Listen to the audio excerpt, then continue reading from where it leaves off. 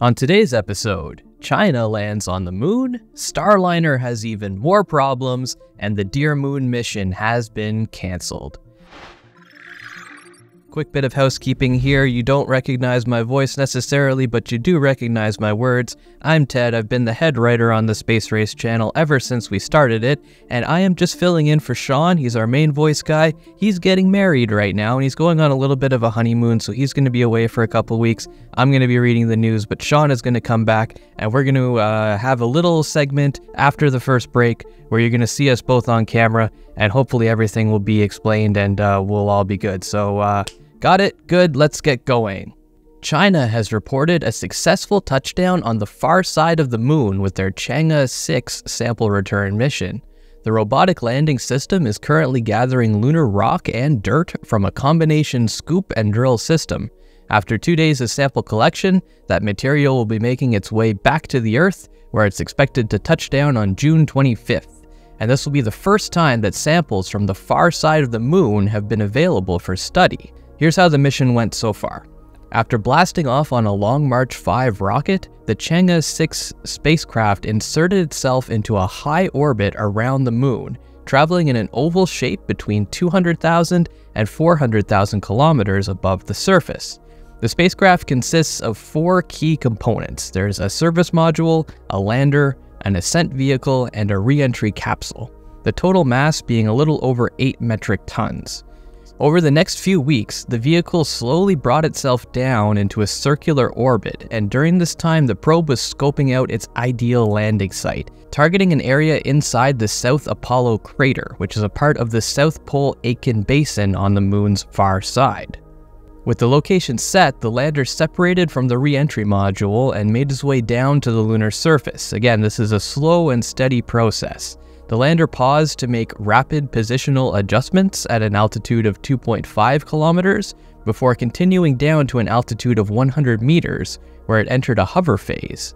From this position, the probe used a combination of LiDAR and optical cameras to pinpoint a safe landing spot. So, as far as we know, the landing was successful. This would be China's fourth lunar landing so far and their second time visiting the far side of the moon. It's also the third man made object to reach the moon in this year. We already had the Japanese SLIM and the intuitive machines Odysseus. However, both of those landers found themselves the wrong way up. According to the information that we've got right now, the Chinese landed with the flamey end down. Now, what comes next? Over the course of two days, the lander will be collecting samples from two onboard devices. One is a scoop for surface samples of the lunar regolith, and the other is a coring drill that can penetrate up to 6.5 feet or 2 meters under the ground. Around 4.5 pounds or 2 kilograms of lunar rock and soil will be collected by the probe and then transferred to an ascent module, which is like a miniature rocket that will blast off from the lander platform and rendezvous with the orbiter. And that vehicle will then make a slow return to the Earth.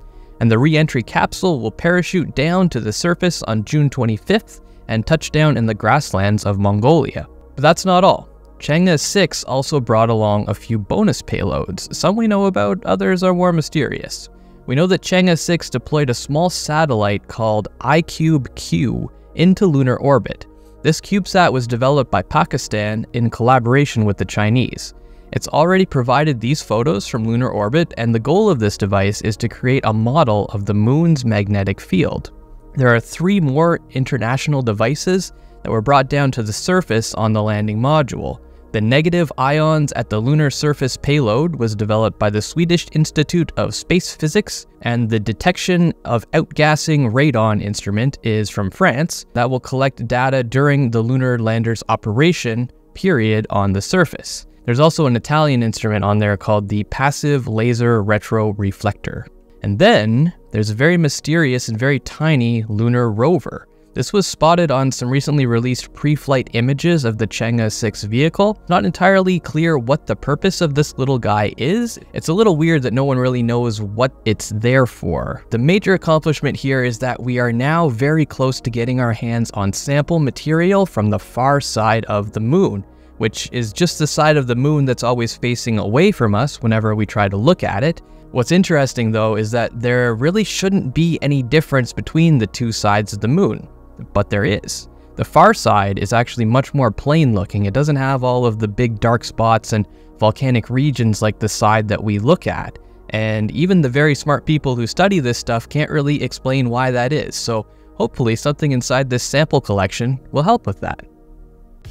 Hey, so we've been uploading videos on this channel for over three years now, and we've created over 250 videos in that time. And we think it's about time, actually, probably past time, that you meet the team behind the space race. So today we're peeling back the curtain and letting you get to know us a little bit more, as well as sharing some exciting new things we've been working on with you later at the end of the video. If you haven't guessed by now, I am the voice of the channel. My name is Sean, and I also help with managing all of the behind the scenes. Hey, I'm Ted. You might recognize me as Sean's AI voice clone, but I'm also the head writer and editor of the Space Race. I'm the space nerd behind all of the content that you hear. Hey, I'm Jay. I'm the lead uh, editor for the Space Race. Hi, I'm Brady. I'm also an editor on the Space Race, and I also do motion graphics on the side. Hey, uh, I'm Chris. I've just kind of recently come on to do the uh, 3D work you might have seen. Hey, I'm Tanner. I'm an average Discord mod. Together, we create each and every video you've seen on the channel, and we just want to thank you for watching and enjoying all of our content. It's really our goal to make the best videos we possibly can, and we want to continue to do that for you each and every week.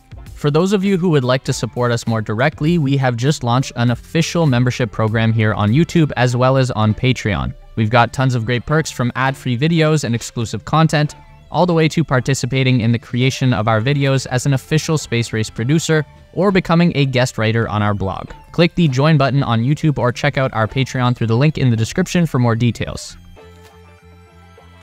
The Dear Moon mission is canceled. This is a significant blow to a lot of different people, but particularly to the space YouTube community. Our boy, Tim Dodd, the everyday astronaut, will not be flying to the moon after all. Sorry about that, bud. Dear Moon was an event conceived by the Japanese billionaire Yusaku Maezawa, and the plan was to use the SpaceX Starship to fly himself and eight people on a voyage around the moon.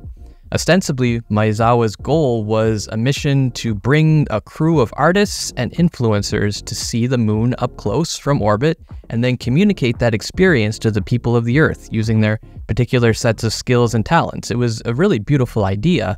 The big problem here seems to have been timelines. I don't think that's the entire story, but we should note that the Dear Moon mission was first announced back in 2018. So at this time, all that SpaceX had was a concept for their BFR rocket. Starship didn't even exist yet, and the assumption was made that the mission could launch by 2023. Then, in December 2022, Dear Moon announced their crew of eight people, which also included the music producer Steve Aoki. There were two photographers, a filmmaker, a singer, an actor, a YouTuber, and a multidisciplinary creative named Yemi AD. And at the point of this announcement, Starship had not lifted off even one time, so anyone who knew anything about spaceflight, such as the everyday astronaut himself, would know that a launch in 2023 was not going to happen, or 2024, or really any time in the short or even medium term.